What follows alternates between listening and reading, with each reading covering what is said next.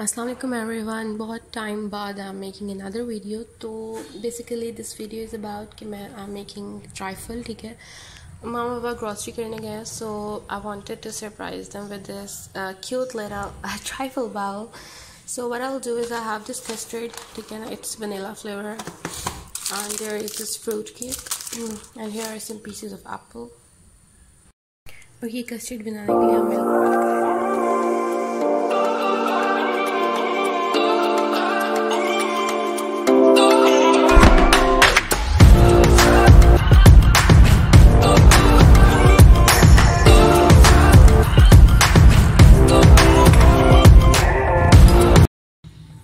अब हम इसको कॉन्टीन्यूसली स्टेयर करेंगे कि इसके अंदर कोई लम्ब्स ना रह जाए, ठीक है? It must be smooth texture इसका होना चाहिए। So continuously steering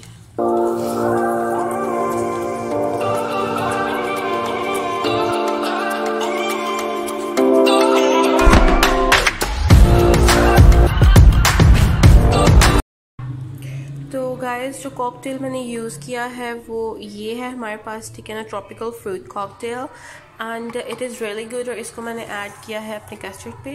you can see इसके ऊपर मैंने टैल कर दिया बिकॉज़ uh, इसको फ्रिज में रखना था सो ये ऐसे बेहतर रह जाता है। और ये जो आप देख रहे हैं layer it is jelly strawberry jelly है रफान की ठीक है? एंड इसके नीचे जो बाकी लेयर्स हैं उसके अंदर फ्रूट्स हैं नट्स हैं कस्टर्ड है एंड ऊपर जेली हमने ऐड की है।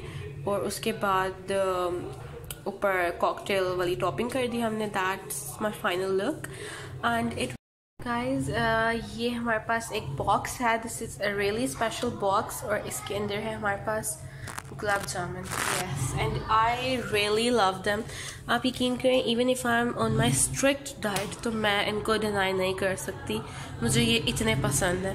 यूजुअली जो हम लोग लेते हैं, वो बड़े मियाँ स्वीट्स के हैं या अजवा बेकर्स के तो वो अवेलेबल नहीं था। ड्यू टू कोविड सबकी टाइमिंग्स डिफरेंट है, उन्होंने जल्दी बंद कर दिया। So we had to get this from sweet palace तो इनके भी काफ़ी अच्छे होते हैं, लेकिन जो बड़े मियाँ स्वीट्स के होते हैं, उनसे ज़्यादा अच्छे नहीं होते इनके। सो आज की ये छोटी सी वीडियो थी इनशाला इनशाला I start the proper vlogging from twelfth April onwards ठीक है? और उसमें आप मेरे डेली व्लॉग्स देखेंगे, ठीक है? Because right now I am setting up my schedule तो उसके तो अभी मैं प्रॉपर व्लॉगिंग इस तरह से भी स्टार्ट नहीं कर सकती बिकॉज़ मेरा भी स्केजुअल काफ़ी टफ है, ठीक है? I have to set it up मुझे उसको पहले सेट करना पड़ेगा एंड आफ्टर मैं उसके बाद क्या करूँगी?